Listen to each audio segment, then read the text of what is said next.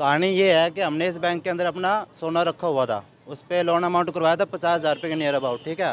तो हम दस दिन पहले आए थे अपना लोन क्लियर करवाने।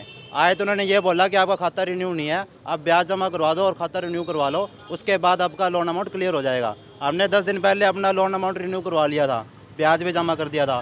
फिर हम दस दिन बाद फिर आए। फिर उन्होंने बोला कि आपके सात दिन से पहले पेमेंट जमा नहीं हो सकती, ये हमारे बैंक का रूल है। हमने कहा, चलो कोई नहीं, सात दिन के बाद आएँगे हम। सात दिन के बाद आज फिर आए हैं। आज फिर यही चीज़ कह रहे हैं कि आज आपकी पेमेंट हम पूरी नहीं ले सकते। आधी पेमेंट लेंगे, आधी पेमेंट आप कल जमा करवाना। और आपका जो गोल्ड है वो हम कल देंगे। मतलब ये अपनी मर्ज़ी चला रहे हैं। बैंक का कोई रूल नहीं है, ये अपनी तरफ़ से कह रहे हैं। मैंने कहा है कि आप लिख के दे दो कि आपका आरबीआई ये कहता है कि हम एक दिन में पेमेंट नहीं क्लियर करवा सकते। पर ये लिख के देने के लिए भी तैयार नहीं है। मतलब अपनी चीज़ चला रहे हैं ये। वो हमारा गोल्ड है, वो दे ही नहीं रहे। कल एक सौ बारह ने भी इनको समझा के देख लिया। उन्होंने भी कहा अगर आपका ऐसा कोई रूल है तो हमें दिखा दो या फिर लिख के दे दो। वो ये चीज़ कहते हैं, हम लिख के नहीं देंगे। वो मतलब अपनी मर्ज़ी चला रहे हैं आप जो करना है कर लो, हम लिख के नहीं देंगे।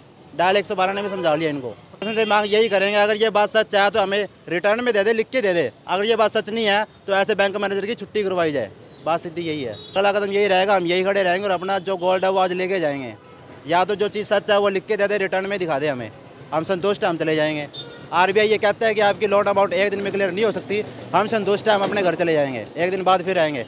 अगर ऐसा कोई रूल है नहीं, फिर ऐसे जो अपनी मर्ज़ी चला रहे हैं ना, ये गलत है। ये सुधार उनको ऐसे। अभी कॉलर ने कंप्लेन की डायल एक बारह पे। उसने कहा कि मेरा कोई लोन का इशू है, मैं लोन चुकाना चुकाना चाहता हूँ और पूरी पेमेंट भी देना चाहता हूँ, लेकिन मैनेजर अपनी जिद पे अड़ा हुआ है। जब हमने यहाँ पर आकर इनसे बातचीत की तो उन्होंने बतलाया कि हम पैसे आज जमा कर लेंगे और गोल्ड जो आपका गोल्ड है, वो कल दे देंगे।